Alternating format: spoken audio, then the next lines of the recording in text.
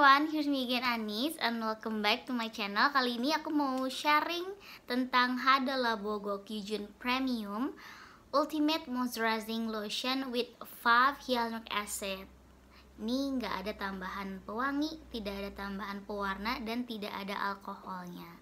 So basically ini adalah hydrating toner yang dipakai setelah kita pakai exfoliating toner dan digunakannya boleh pagi hari, boleh siang hari, boleh sore hari. It's all up to you guys. Kamu bebas pakai ini kapan aja karena ini bisa dipakai kapan pun kalian mau. Yang tujuannya adalah untuk melembabkan kulit kita. Kenapa ini menjadi pilihan yang sangat bagus untuk kamu masukin ke dalam skincare rutin kamu? Karena yang pertama harganya affordable banget. Ini harganya 100 ribu dan isinya lumayan banyak. Ini tuh isinya 100 ml. Dan yang kedua, Hadalabo ini menurut aku brand yang memang udah ketahuan bagus gitu dari dulu. Aku udah kenal ini lama, makanya aku uh, mau sharing ini ke teman-teman supaya teman-teman juga tahu brand Hadalabo itu adalah salah satu brand yang aku favoritin untuk uh, skincare gitu. Terus yang ketiga adalah ini menurut aku level up dari hydrating tonernya Hadalabo yang lainnya, yang warna lainnya, yang varian lainnya yang warna putih itu. Menurut aku ini jauh lebih bagus dari mereka-mereka itu karena kalau ini menurut aku untuk kelembapannya lebih tahan lama banget dan ini dipakainya juga nyaman sekali. Walaupun dia punya kelembapan yang oke okay dan lama banget di kulit kita. Untuk formulanya sendiri teman-teman ini tuh kayak agak kental gitu. Tapi dia akan cepat banget menyerap ke kulitnya cepat banget ya terus ini tuh ingredientsnya menurut aku nggak macem-macem banget. Jadi kalau misalkan kamu sensitif sama uh, ingredients ingredients tertentu menurut aku Hadalabo itu nggak punya ingredients yang aneh-aneh. Dia pakai ingredients yang memang simple yaitu hyaluronic acid ya. Jadi hyaluronic acid ini memang tugasnya untuk melembabkan kulit kita sehingga kulit kita itu tidak kering dan memperkuat skin barrier kita. Ngomong-ngomong tentang skin barrier, teman-teman tahu kan ya kalau skin barrier itu adalah uh, lapisan yang paling luar dari kulit kita. Ini namanya skin barrier kita ya. Jadinya ketika skin barrier kamu sehat, ketika skin barrier kamu lembab, itu artinya kulit kamu itu akan terlihat sehat, akan terlihat dengan sendirinya glowing gitu ya. Glowing itu sebenarnya kayak gimana sih? Glowing itu adalah menurutku ya, ketika uh, kulit kita tidak pakai makeup atau apa pun itu ya memang kelihatan sehat aja gitu tidak ada masalah yang berarti dan kalau misalkan kena cahaya lampu atau kayak uh, terang-terangan gitu kayak mantul gitu loh kulitnya jadinya menurut aku definisi glowing tuh kayak gitu. Makanya aku saranin banget nih buat teman-teman kalau misalkan emang pengen banget uh, kulitnya glowing gitu ya kalian cobain masukin hydrating toner di skincare rutin kalian. Aku jamin kulit kamu bakal seneng banget karena kulit itu suka banget lembab gitu. Jadi ketika kulit lembab itu insya Allah nggak ada masalah-masalah yang terlalu uh, terlalu ekstrim gitu di kulit kamu. Jadinya cobain pakai hydrating toner gitu. Dan lagi ini Hadalabo ini dicarinya gampang banget. Kalau misalkan teman-teman mau cari online nanti aku kasih linknya aja di bawah. Jadi teman-teman bisa langsung check out. Kalau misalkan teman-teman nggak suka belanja online kamu bisa cari ini di Guardian, di Watson, di Santuri mungkin ada ya. Terus di Dandan ada juga.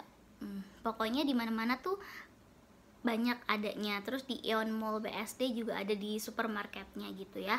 Jadinya menurut aku carinya gampang kalau misalkan habis pun kita bisa belinya dengan cepat terus harganya juga nggak terlalu yang mahal banget. Habisnya juga lama banget karena kita pakainya sedikit aja ya teman-teman. Karena dia sedikit pun sudah bisa melembabkan kulit kita. Jadinya teman-teman gak usah pakai terlalu banyak. Kalau misalkan pakai kebanyakan juga Ah, nggak uh, enak banget di muka terlalu becek ya. Jadi pakai secukupnya aja. Dan ya udah kulit kamu akan lembab. Tapi kalau aku tuh anaknya memang suka banget kulit yang lembab gitu kalau misalkan tidur. Jadi pas malam hari di skincare rutin malam aku itu aku bisa pakai ini kayak ngikutin orang Korea. Jadi pakai ini tuh tiga layer. Jadi layer pertama aku kayak gini satu gini terus aku pakai ke kulit terus aku diemin dia supaya nyerap gitu. Terus aku pakai lagi. Ulangi lagi stepnya. Pakai lagi. Terus aku diemin lagi. Terus aku pakai sampai tiga kali. Jadi aku totalnya tiga layer pakai hydratingnya hydrating toner dari Hada Labo karena memang uh, formulanya juga cepat banget menyerap dan nggak terlalu yang becek sih. Kalau uh, tadi kan aku bilang nggak usah pakai kebanyakan. Itu maksud aku jangan satu kali kita pakai satu layer kita tuh pakainya numpahinnya banyak ya sehingga ya dia nyerapnya agak lama gitu kalau misalkan produknya terlalu banyak diambil. Makanya menurut aku uh, tiga layer tapi ya satu layernya tuh sedikit gitu produknya dan dia nanti akan nyerap. Terus ulangi step step yang selanjutnya gitu.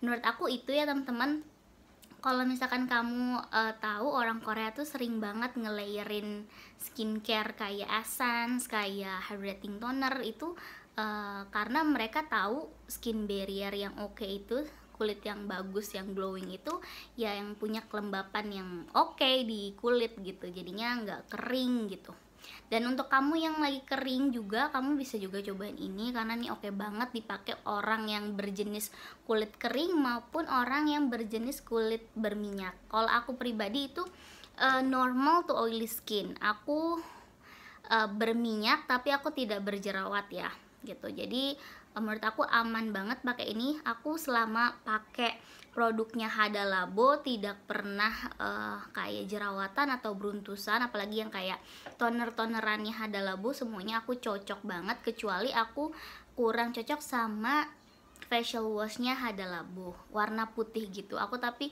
lupa banget varian yang mana tapi yang jelas aku kurang cocok sama sabun cuci mukanya Terus kalau sama tonernya nggak ada masalah sama sekali. Yang warna putih teman-temannya dia warna putih nggak ada masalah. Dan ini menurut aku level up dari yang teman-temannya itu karena dia ada bacaan premiumnya. Dan uh, kamu tuh carinya gampang dia tuh warnanya beda sendiri. Jadi warnanya kayak gold gini jadi menurut aku this is uh, the best choice kalau misalkan kamu mau cari hydrating toner yang bisa dipakai pagi hari, di malam hari, di sore hari juga bisa banget.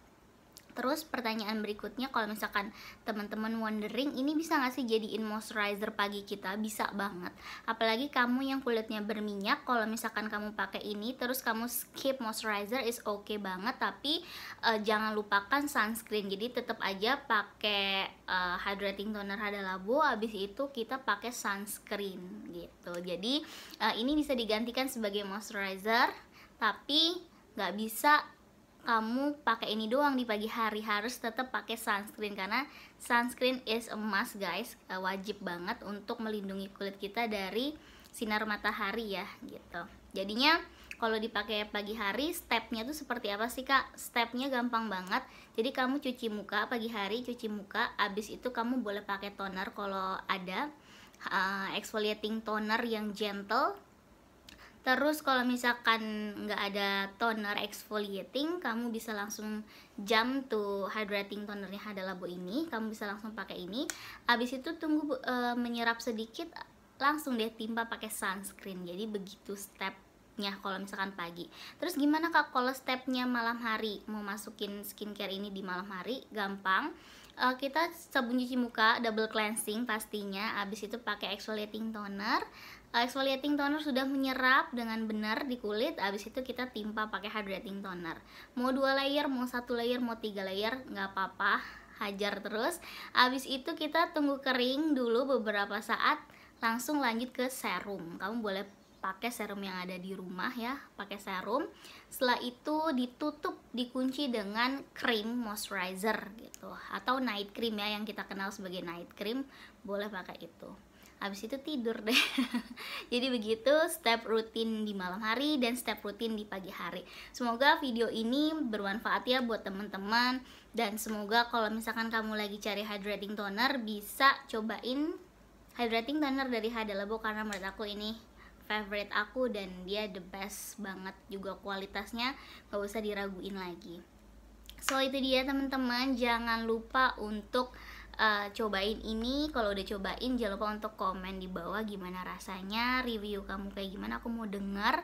Dan kalau misalkan teman-teman ada suggestion untuk aku bikin apa video berikutnya boleh banget. Atau aku nge-review produk apa atau aku ngapain terserah. Uh, boleh tinggalin komentar ya.